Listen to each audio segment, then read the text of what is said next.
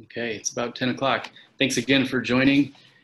Um, excited, we've done a couple uh, educational classes or sessions on uh, planting design, planting selection, as well as um, kind of how it relates to beekeeping and promoting our pollinators. So today we were just gonna talk a little bit about uh, pollinators, some plant choices that you can use in the garden, and getting started with beekeeping, specifically how to start uh, honeybee colonies or a honeybee hive or two for your backyard.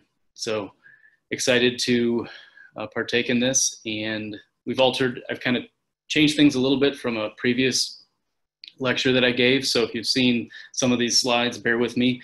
We made a few changes, but um, just kind of some of the fun basic things that you can consider uh, when planting your garden, garden or chalets helping plant your garden or design the garden. And um, some fun with beekeeping and how it relates, the plants and how they would relate to uh, pollination and honeybees. Looks like we have about 12 participants. Um, actually, that's climbed, uh, increase since I looked at that last. So we're gonna go ahead and get started. Thanks again.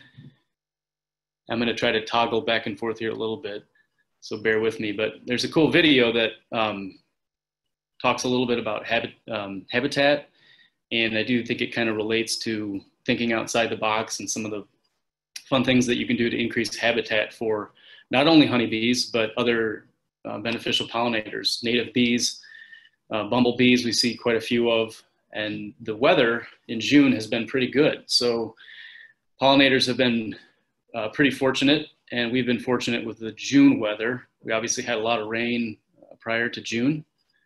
Um, but I wanted to see if I could actually pull up this quick little video. It's only a couple minutes uh, before I get started on the presentation.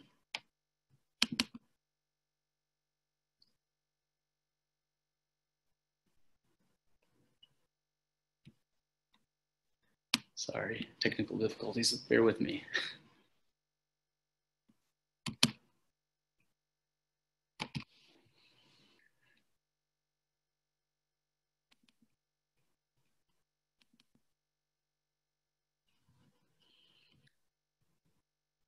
Okay, so that's not working.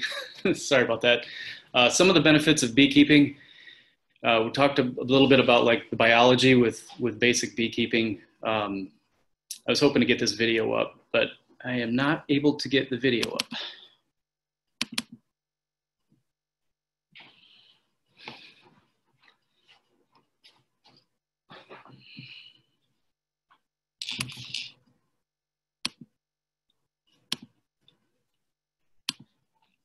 Cool, there we go.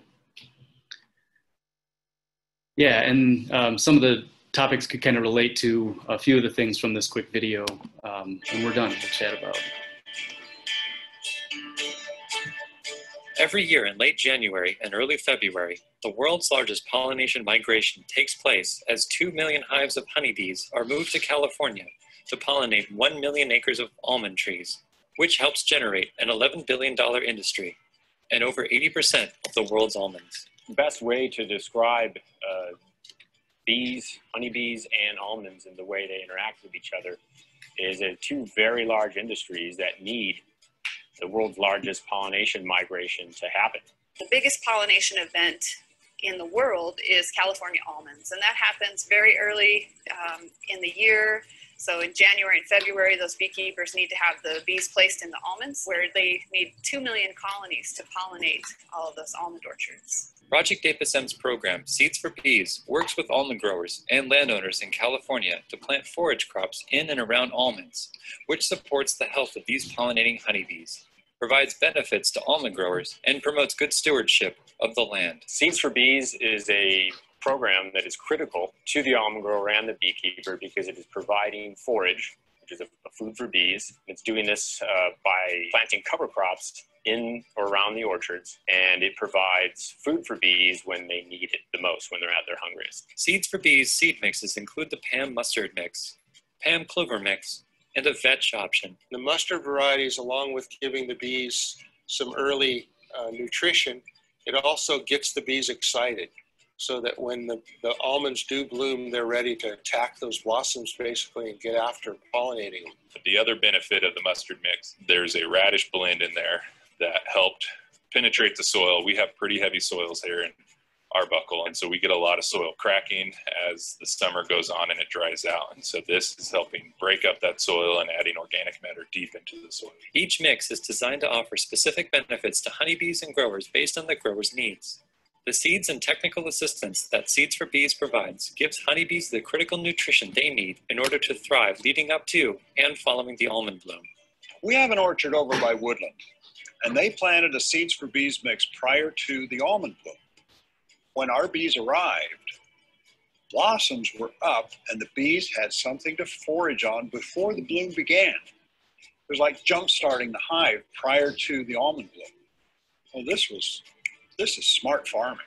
The plants and Seeds for Bees seed mixtures work to increase organic matter, prevent erosion, increase water infiltration, increase nitrogen, suppress weeds, decompose mummy nuts, and attract beneficial insects, providing additional benefits to growers. There are often questions about Seeds for Bees cover crops competing with the almond bloom, but studies have shown that this is not the case. Just visually, as a grower walking through the orchard during bloom time, um, I see a lot of bee activity throughout the cover crop and in the trees. Another concern of growers is frost in the orchards during bloom, which can easily be managed with good practices, mowing when necessary. Seeds for Bees cover crops support a healthy environment by providing habitat for other beneficial insects and pollinators, reducing pesticide use and runoff, retaining water, and improving soil health. We definitely saw a difference in where we had cover crops versus where we did not during the wet spring. And where we actually had cover crop, we were losing less soil because of the roots and holding onto that soil. Project Apis M has designed Seeds for Bees to be a simple process by giving almond producers an easy way to practice better sustainability and stewardship of the land. Compared to other programs, it is much easier. With Apis M, it was a simple phone call, and within a few weeks, we had the seed a lot of times with, with different cost sharing opportunities, growers get bogged down by cropping history and digging through old files about finances and different personal information. We don't ask for any of that. And you have to be a, a grower in California of almonds that really wants to help out their soil and bees. We believe that putting forage back in the agricultural landscape is an important part of sustainability, and Seeds for Bees is a great way to integrate these benefits into almond growing practices. Learn how you can participate and support Seeds for Bees by visiting projectapism.org.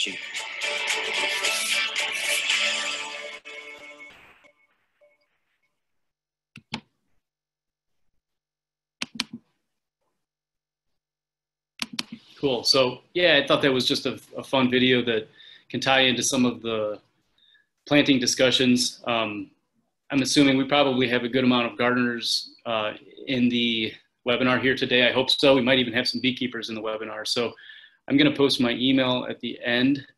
Um, it's actually adams at chaletnursery.com. If there's any questions, I would welcome, I would love any uh, feedback or comments or questions as we may not get to all of the, the questions. So um, if you could, by all means, please email me if there's any questions. We might be able to pull up a chat box at the end uh, with any comments that you can kind of type in towards the end. So I should have started with my background um, is landscape design and uh, maintenance management within the Chalet Landscape Division.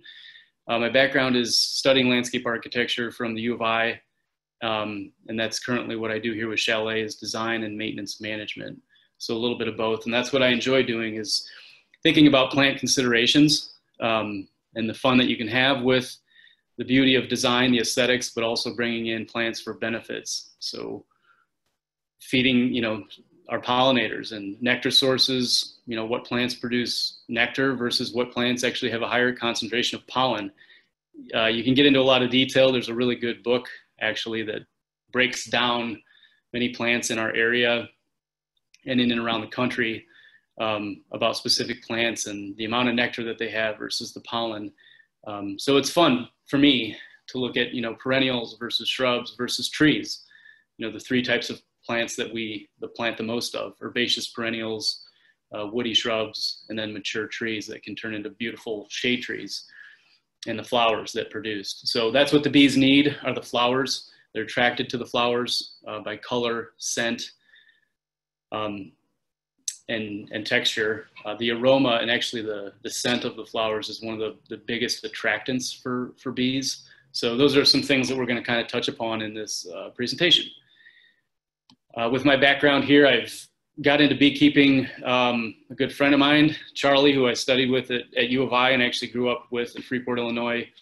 Um, he does honeybee research um, in, at UC Davis in California. So he knows a heck of a lot more about beekeeping than I do, but uh, he kind of got me into it. So it's been fun occasionally kind of bounce things off of him and learn from him.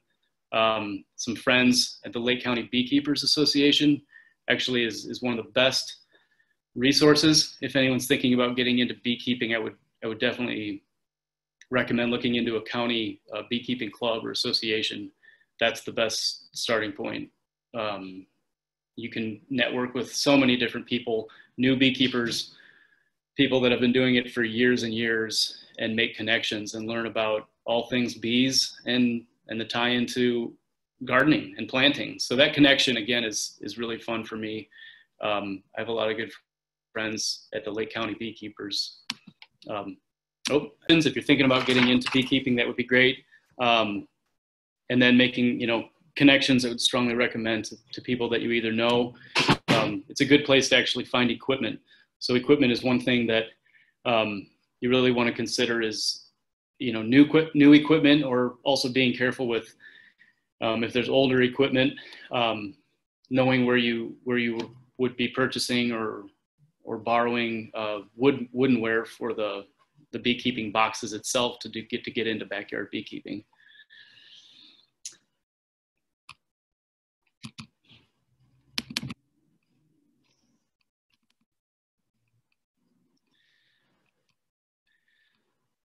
so kind of talking through um, you know what bees need i mentioned like nectar and pollen so the nectar is the carbohydrate and the pollen is the protein that they bring back uh, for the bees uh, to keep the hive and the brood healthy. So the pollen and there's many different types of pollen sources um, is the brood and kind of the vitamins and the minerals for the the baby bees. So usually in a, a beehive box you've got about 10 frames kind of wall to wall brood. And the bees know they're smart enough and they know where to, you know, put the pollen and put the nectar and they move it around. So within a beehive, there's a lot of different things going on at the same time.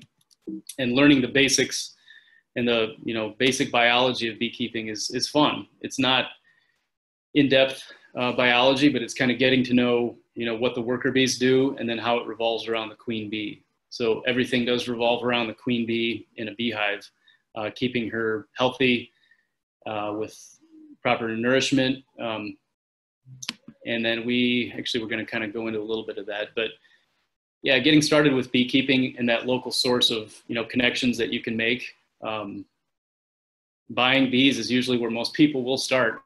The goal that that a lot of people have is to try to get your bees through the wintertime. So having you know your honeybees get through the wintertime is the best thing you can do. And there's a lot of different things and stresses that can take place with with bees such as varroa mites. So that's probably the top thing that researchers are trying to wrap their head around um, is battling the parasitic varroa mite, uh, which can weaken the, the overall health of the beehive. Um, so managing that and making the right decisions on how you want to address things such as varroa mites and, and trying to get your bees through the winter is one of my main goals. Um, coming up with goals is, is a really good idea. So if you're thinking about having, you know, a backyard hive or two beehives or, or more, you know, what are you want, what do you want to do it for? Is it for honey? Is it for simply the fun of pollinators in the backyard or on your property? Um, so there's a number of different things that you'd want to think about kind of before you get started. Um, each beehive or package that you would buy would, would come with a queen. So you'd have your own little queen that you release slowly, but there's there's so many different pheromones within a bee colony um, that these bees acclimate, you know, before they get to you. Um, so there's some kind of buzzwords, unintended, um, but things that you might hear about or read about um, that take place during foraging and also within a beehive. There's royal jelly, which actually gets fed and that's what I find is fascinating is that there's so many different things that the bees need and they know how to um, keep a hive healthy, keep a queen healthy. So uh, things like bee bread and, and honey and nectar and propolis. Propolis is actually a resin that bees know to forage for. Um, and it has different roles throughout the season. So during the season, it gets kind of hot and sticky.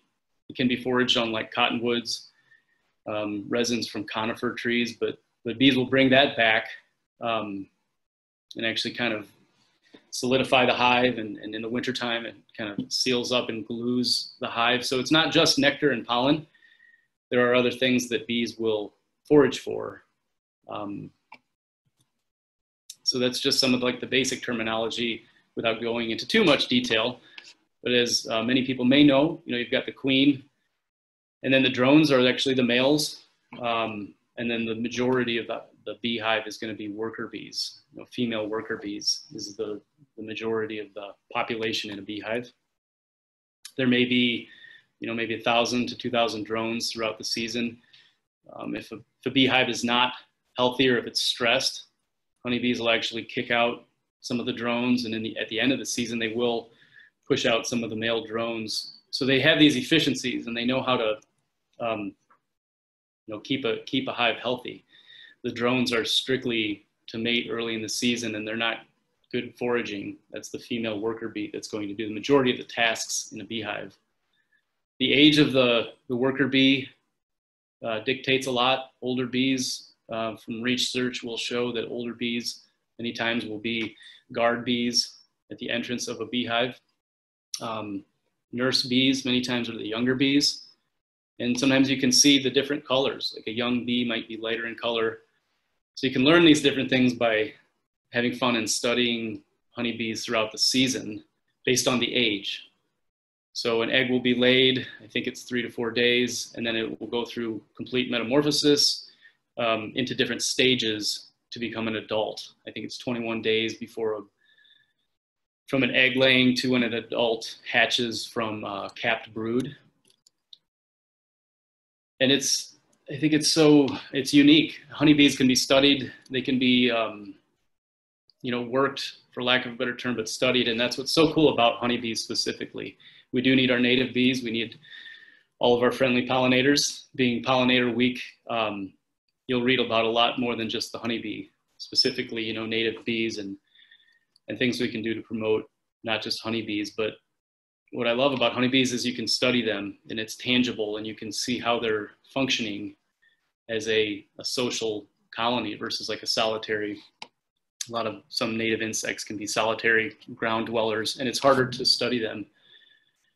Um, so as the adult bees kind of emerge, you know, in a, in a given season, you might have up to 60, maybe 70,000 bees in a healthy hive. You think of a beehive that's stacked and you want to give bees space. In this picture here, you can actually see the queen here. This is a photo I took a few years ago, but you can see the larger abdomen of this queen bee with her head uh, down into one of the hexagonal cells of nectar. So constant evolving, constant, you know, eating. Bees will move food around the hive. Um, the bees know how to cap the, the brood before it uh, emerges. And then without going into too much, uh, you know, detail about some of the other biology, just kind of things that I like to do. And while beekeeping, um, you know, a lot of people for photography, a lot of beekeepers that I know they're strictly into it. Maybe it's a little bit for the honey, but they love to photograph bees. I think that's fun. I took this photo a few years ago with an iPhone, just bees coming in and out of the hive. Um, so again, some of the the things that bees will forage for uh, throughout the season, like tasks that and timing that you would need for proper expectations of you know what is it going to take to maybe start a beehive um, in spring and fall. We had a really rainy spring, obviously, and um, most beekeepers would, would provide like a artificial nectar. So sugar water or sugar syrup is usually fed to a bee colony in spring and then many times in fall when there's a lull or a dearth of, of nectar. So Chalet, at Chalet, we've got beehives at our farm in Wisconsin. And it's been fun because we have a lot of plants that grow very close to where the beehives are located, uh, from herbaceous perennials to woody shrubs and trees that bloom periodically throughout the season. So you can kind of relate that to what's going on in your garden and think about maybe, you know, some of the plants we can talk about towards the end is, you know, what's blooming at certain times. And what do the bees see or not see uh, when they're foraging? So like humans, a pretty flower is seen by us and it's seen by honeybees and other pollinators from many times miles away for bees. Um, the, the scent, you know, sensory, olfactory, olfactory, I think is um, aroma and smelling, but the vision and the eyesight and what bees see is incredible from a long distance away. So beautiful, bigger flowers, you know, catalpa trees are in bloom right now, and bees can see those from a long distance. Um, kind of the bullseye effect of, of where the, the nectar and the nectary, um, nectaries are, like a coneflower, looks kind of like a bullseye. Plants like that will typically be foraged on more efficiently and more productively. I'm sure many people have seen these bees in their garden in June. Uh, coneflower kind of as we get into July. So some plant recommendations we were, I was gonna kind of talk about a little bit in regards to like uh, the, the, recent blog that I wrote, but those are simply just five or six of my favorite plants. So this would be a quick photo of mid-season, probably about July and maybe into August, where you'd want to add space to your beehive.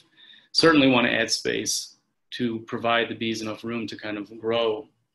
Um, swarming is Mother Nature's version of bees want to reproduce. So bees' tendency tendencies are to swarm, unfortunately, but that's Mother Nature working and, and bees reproducing. So if you can manage that to the best of our abilities, and many beekeepers know that it's can be very challenging to um, reduce the tendencies of swarms, but we try to do our best by doing things like adding space and adding boxes to a beehive. When bees swarm, about half the colony leaves with the old queen, and they're trying to find a new home.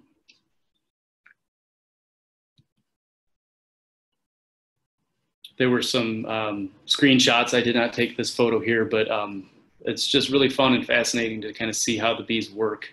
You know, looking at the picture of the bees proboscis, their tongue parts, the mouth part, um, just incredibly efficient, and how the bees store the pollen on the, the back quarters of the bee, the hind legs, and the pollen sac. They kind of rake pollen as they forage off of their body to a pollen sac on the back um, side of the legs of the bees. So those would be your worker bees, your female worker bees that work hard throughout the entire season. So with June being so nice and the weather being phenomenal, wet spring, but a really good June, um, a lot of beekeepers are enjoying the amount of production that uh, that bees are having and, and more bees watching them in their garden. In the wintertime, there's tasks, you know, maintenance tasks that we do, but every beekeeper has a different um, method of how they want to keep bees all around. Some people wrap their beehives in the winter, some people do not. Um, if you have a strong population going into late fall and winter of the numbers of bees, personally, I think that's going to dictate a lot. And then your varroa mite count, how many mites you have or don't have in your colony, is going to dictate the success rate of getting your bees through the winter. And if you can get your bees through the winter, um, we've given a couple presentations, and I think that was a photo of a, a friend's a bee yard. Um, so bee yards or apiaries can look like a number of different things, quantity of bees, but um, if you can get your bees through the winter, they're going to be well ahead of, of a new package of bees from a foraging standpoint and collecting nectar. You know, you're going to have early spring when the bulbs bloom. Um, you're going to be well ahead of the game versus having a package, a new package of bees. So some of our hives that made it through the winter, this past winter, uh, two of them are doing really well, knock on wood, um, and they're ahead of the game. So they're growing in population and in numbers as the queen is, is viable and doing really well. This is at the Chalet Farm a couple years back. We've painted, had fun painting beehives and, you know, I think there's there's research that shows that like flowers, bees will be attracted to colors. Um, but to be honest, you know, a white uh, bee box is going to be just as fine, uh, just as good. But it is kind of fun painting the bees, the bee boxes, different colors, and and placing them in your garden as more of an um, artistic. Um, you know, if you've got a location in a the back corner of your property, windbreak is really good. This is a friend and a customer in um, the Deerfield area that manages kind of some of his bees. He, he manages them himself, so it's been really fun to to work with friends and some some clients of our landscape department where we kind of you know consider different plants within the garden, but to get people excited about beekeeping is uh, is certainly a passion of mine and kind of educating people that it is fun. You want to obviously talk to your, your neighbors, know what the municipality does or doesn't allow, but really just educating um, people on the benefits of, of beekeeping and having our bees. Um, this is a, a friend and a, a, client in the Highland Park area who has uh, two or three beehives, and it's just been a lot of fun to kind of see the bees in the garden. And then designing it. So I've spent some time designing certain gardens um, where you can kind of integrate a couple beehives here and there. I think it's nice to start with two beehives if you're interested in getting into it. If you do lose one of the hives for whatever reason, or there's a swarm, it's kind of nice to have a second beehive um, to study and to relate there's things you can do by splitting and dividing hives and propagating bees. So it's fun to sometimes start with more than one beehive. But it's also easy to grow and gain a lot of equipment and have a lot of equipment on hand. So, you know, two to three beehives is, is really nice to have, um, you know, two to four beehives to, to study and, and watch in the garden. Another friend and client here, not too far away from the chalet, um, with a beautiful garden and you know enjoying the bees on the property and watching them. Weather can dictate a lot.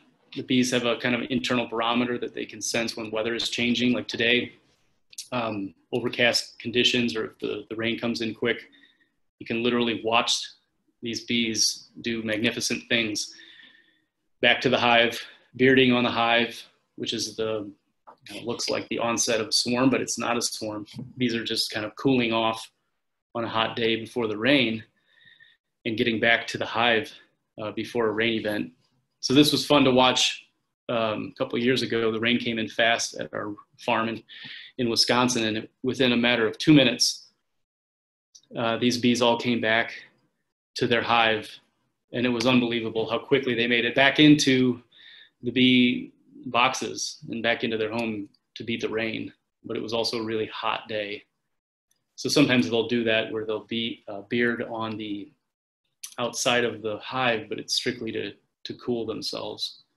You know, having storage is one thing I would highly recommend is if you're thinking about getting into beekeeping is having enough space for your boxes.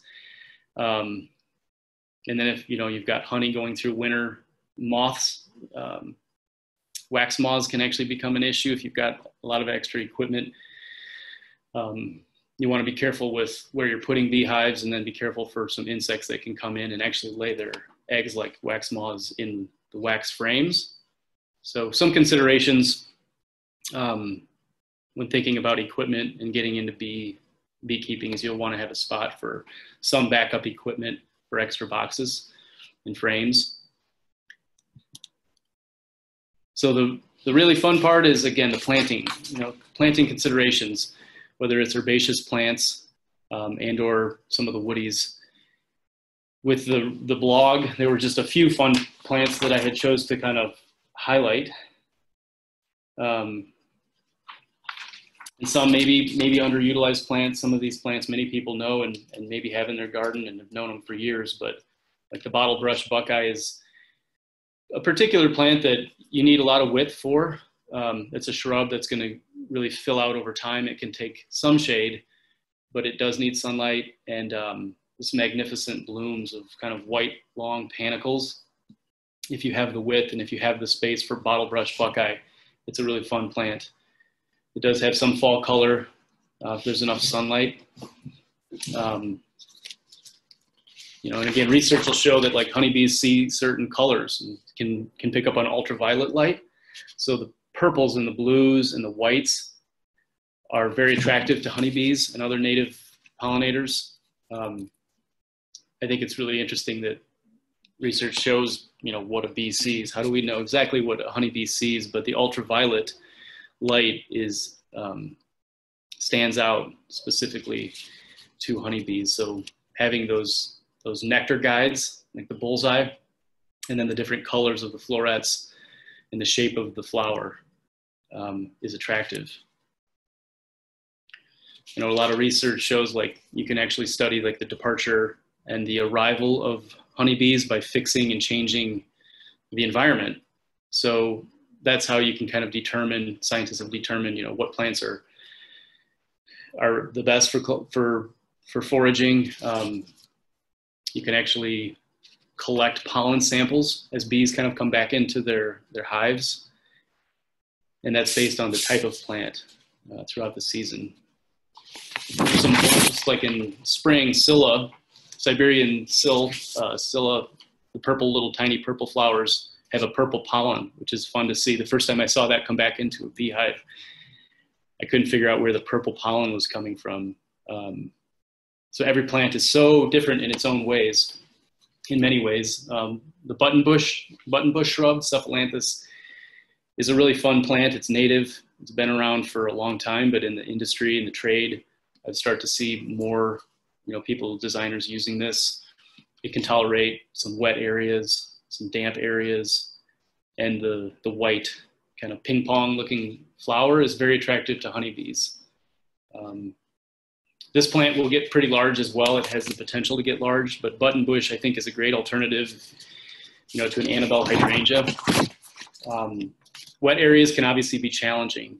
I think, you know, wet areas and shady areas is probably one of the worst combos for trying to design and consider you know plant options but you know plants like buttonbush or clethra those are some viable plant options for you know, medium-sized shrubs that are really good pollinating plants uh, but that can be a challenge because as we know wet sites all plants need oxygen to kind of um, and photosynthesis the sunlight to, to properly photosynthesize so incredibly wet feet is not good for any plant. There are willows, you know, we talk about river birch and some of these plants like buttonbush that can tolerate some of these conditions, which, which is really good.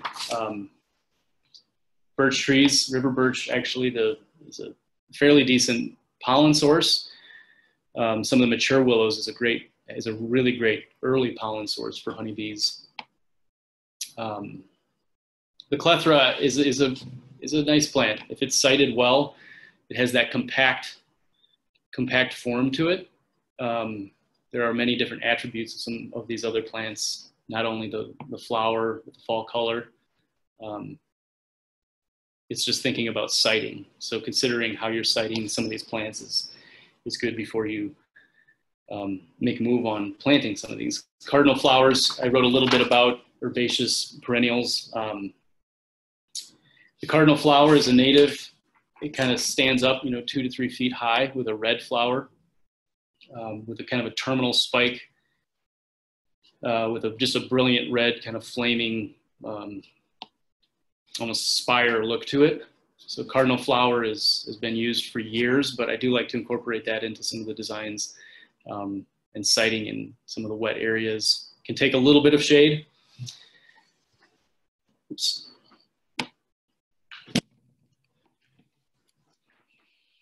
and then some of these you know other natives and non-natives it depends on what your goals are for your garden as to you know we talk about goldenrod and aster late in the season as a food source goldenrod is a phenomenal nectar source cool nights and warm days goldenrod will produce just an abundant amount of nectar. Um, many goldenrod plants can be hard to control. They can be pretty invasive. So again figuring out what your goals are uh, what the space is that you have in your garden. Um, the milkweeds, you know, not only just honeybees, but butterflies and hummingbirds. With National Pollinator Week, it's fun to kind of you know, look at not only the honeybees, but some of the hummingbirds and like the sphinx moth. And there's some really awesome insects that will forage on different plants and based on the flower and the ease of getting in and out of flower. You know, the florets, hummingbirds are very efficient with getting into more of like the tubular flowers. Um, bumblebees have specific plants that they can forage on, you know, better and more efficiently than some of the honeybees. Hypericum, St. John's wort, I think I've got here. Um, great plant. I think somewhat underutilized, but it's a slow grower, but it's a really cool plant. I mean, there's not a lot of plants that have a flower like this, I think, as a, you know, a pollen source, just chock full of pollen. So St. John's wort, uh, used in the medical industry, but beautiful flowers. They can, it can take somewhat wet feet, damp areas, um, but as it slowly grows, it can fill out and it's been fun to watch these plants on many sites, especially with sites that have, you know, backyard beehives. And, and even if you don't, you know, it's a, a nice plant for that yellow color as a medium sized shrub. Some of the wild asters mentioned in fall, it's getting into like late season foraging for honeybees as bees try to build up their food stores going into fall and winter. The plants like aster and goldenrod are especially important because um, they'll store that food for the winter, which is what honeybees will will need and thrive on to try to get through the winter are the food stores. So leaving your honeybees as much honey as you can is a, is a really good idea and not robbing your honeybees of all the honey is a wise uh, practice in beekeeping. As I mentioned, just the fun of watching honeybees. You've got Russian sage in the back, along the backdrop, and roses in the middle, and coneflower to the front, and catmint in the foreground. Pretty good, you know, really good plants. Roses, you'll see some foraging, but really like the coneflower, the seeds on the coneflower, echinacea, it's just a really efficient perennial for the pollinators to feed on because of the seeds and the length of the seed heads. So to watch them kind of perched up on a coneflower and a really high nectar source with echinacea. Same with catmint and calamint. We mentioned calamint in the blog. There's a number of different types of calamint. Um, I really like the white cloud calamint. It's a little bit, almost has like an iridescent color to it and it stays a little bit fairly compact. And there's a number of different types of calamint as well as catmint in the Nepeta family. Uh, but with calamint, um, there's a few. Montrose White is pretty popular in the trade right now. Has a pretty compact form to it. Uh, but I really like the White Cloud um, calamint, and you'll see bees and other insects just the plant just chock full of these pollinators uh, summer so this would be going into like mid summer bloom time so successional bloom time you've got your spring perennials and your bulbs and then you get into midsummer which we're going to be approaching here soon with your cone flowers and your your calamint catmint is in full bloom right now and has been for a while you can see the honeybee kind of foraging and sticking her proboscis down in to collect nectar in this case. There's a number of, of really cool, fun resources for books. Um, hundreds and hundreds of books that you can find online and simple Google searches. But there's a book that I really like that actually calls out specific plants and talks about the pollen content. I'm going to try to remember the name of it. I think it's um, Garden Plants for Honeybees and um, it's a it's a really great book. It talks about month by month plants and species of plants, and talks about why they're beneficial uh, to honeybees and other pollinators. Um, but also talks about the pollen content versus the nectar content. So I find that really fun book to, to read through and flip through. It's Garden Plants for Honeybees. Um, I'm gonna, it's, I think it's Peter Lindtner by chance. Um, Garden Plants for Honeybees. Really fun book. Um, Basic Beekeeping 101 is probably the best book to start with, just the basics, the biology of beekeeping. Uh, Doug, Tal- Doug Tallamy has given presentations. I've had a chance to meet him. He's a really, he's got a really good outlook on native plants not focusing so much on honeybees, but other pollinators and designing for gardens for, for beneficial insects. It looks like he's got bottlebrush buckeye along the left side of his, um, one of his books that he wrote. Um, really good book. Talks about native shrubs and trees. Um, so again, if there's a lot of talking, uh, so thanks for bear, bearing with me here, but if there's questions or any comments for Chalet or myself, please feel free to email me. Uh, my email is adams at chaletnursery.com. I'll try to get down to a comments, uh, comment screen here towards the end, I think with a few more minutes, but um, being National Pollinator Week, we thought this was a, kind of a good and fun opportunity to just talk about some of our beneficial insects. Nothing new is, there's really nothing new with, with beekeeping in general. It's been around for a long time. Um, but just highlighting the fun that you can have with it and promoting it is not so much of a fear, but finding out what you can do or can't do uh, within your municipality. And if you're okay to, you know, legally keep bees and if your neighbors are okay with it, it can sure be a lot of fun and ties directly into planting design and you know what plants can be beneficial and that's you know successional bloom time throughout the season uh, can be really fun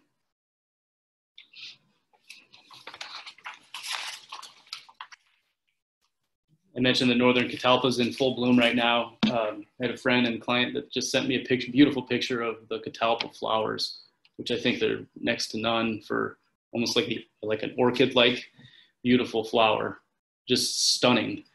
And hummingbirds love this this this plant. So the catalpa, northern catalpa, catalpa speciosa, I believe, is in full bloom right now, and um, it's a it's a great tree. I think it's a good tree. You'll see it as a parkway tree or planted in parks because it doesn't have such a um, formal habit. Um, it grows, some people say it grows fast, but I, I've seen it grow pretty slow at times depending upon your soil conditions. It likes acidic and I think more sandy soils. Uh, but sometimes it takes a few years to even get a bloom. So some trees are unique in the sense that they don't bloom right away. Tulip tree is, is the same, uh, but catalpa tree, you may not have a flower bloom on it for many years. Um, kind of like how oak trees will mast and set acorns some years and not other years, like many plants. Um, soil conditions, weather conditions can dictate that. Uh, but it's beautiful right now. We're having we have rain today a little bit, which is needed, highly needed, um, much needed. But a lot of these flowers that are in bloom right now, the bees have been foraging on very efficiently and the rain the rain is needed to kind of actually push sugars with photosynthesis from the leaves the sugars transfer into the flowers so this rain is very good right now and it's been a good nectar flow throughout all of june um, so nectar flow would be the amount of nectar that plants are producing for the honeybees to forage on and collect and june was just phenomenal um, so we had so much rain in spring but june was really really good and hopefully we have a beautiful um, and pleasant July. I'm going to try to dip down to um, the comment section.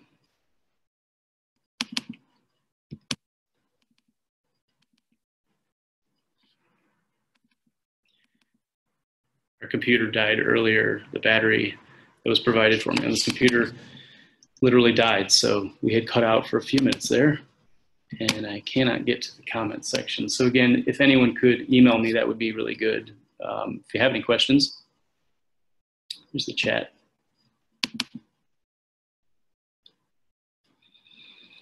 And a lot of support here at Chalet, you know, stopping in or calling in. Um, in my world, in my own little bubble, um, as on the design and the maintenance side of things, um, we are you know we're busy with designs but we love working through designs and looking at considerations like what plants to use. So if you're looking for support by all means you can contact the chalet. Um, this is a fun time of year. It's a really busy time of year but we're you know we're getting caught up a little bit.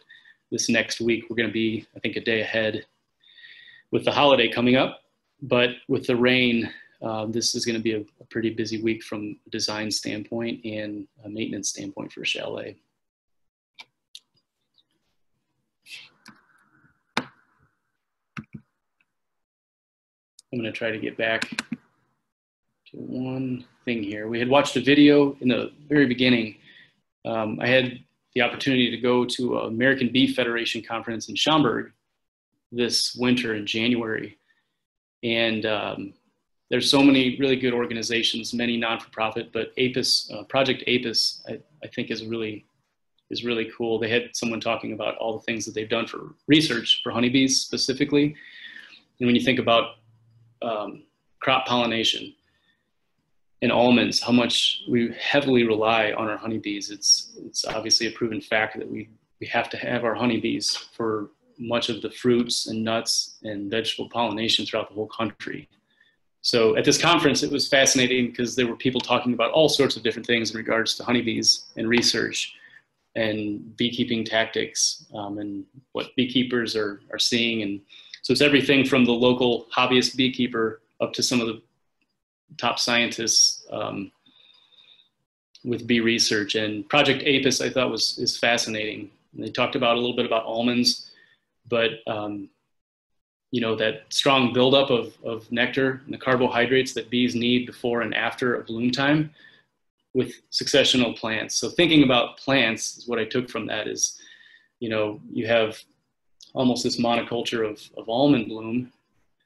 But what are the bees going to have, you know, before and after? And so much weight is put into bees and the timing of shipping bees and commercial pollination um, is essential for us to have our food sources. So I find that really interesting. Um, I would, you know, I, I, mentioned my, my friend Charlie in California, who's in the midst of all of that in the um, you know, the UC Davis, I think it's, you know, the Fresno Valley, where almond pollination is, is everything. So they rely on, you know, rains and what the weather conditions are and drought, which they talked a little bit about in that video. Um, but thinking about the plants and thinking about cover crops. And they talked about vetch. We have so many different weeds and we think of like loosestrife in our area and Canadian thistle and they're horrible plants, but they provide a food source. We're not saying we're going to plant we certainly don't want to plant Canadian thistle everywhere, but from a you know a nectar source, you think of feral colonies of bees and backyard colonies of bees that are managed. Um, the timing of some of these plants is just essential. So the vetch, I think we have a vetch that grows around here, but it almost looks more like a lupine. Um, but they use that as a, co- a cover crop, if I'm not mistaken. Um, so clovers, you know, clover, there's a number of different types of clover. There's yellow clover, there's white clover. You know, clover has a very high uh, concentration of sugar. I think I've read that like pear trees and certain pears and other fruit trees have a good nectar source sugar content, but they can measure it and study it at like 10 to 15% for pear trees. And compared to a, um, a cover crop like clover has like 40 to 50% uh, sugar content. So the efficiency of bees foraging on um, these readily available clover and wild clover in uh, ditches and along roadsides. You know, farmers, that would be amazing if every farmer were to plant their ditches and their roadsides with habitat vegetation. Um, seed mix, a simple seed mix would benefit all pollinators greatly. Orchards, you know, when you have a large orchard, apple picking, that's such a good um, food source for honeybees. I'm not exactly sure which screen you're looking at, but we're just wrapping up. So greatly appreciate appreciate uh, sitting through this webinar. And if there's any questions, let us know. But we do have honey for sale. I just dropped off two big boxes of Chalet honey if anyone's interested in it. Um, the smaller bottles at Chalet, um, there's been some good support for you know bottling and labeling uh, but Chalet does have Chalet honey on, you know, for sale, and um, that's a it's a fun part. The honey is a fun part, but it's not my favorite part. You know, the plants and watching the bees is probably my favorite part. But many people ask about honey at Chalet, and this is from our farm um, in Salem, Wisconsin. So there is honey for sale, and I think we can ship it. I believe if there's enough to be um, shipped in the mail because we're doing a lot of online purchases lately.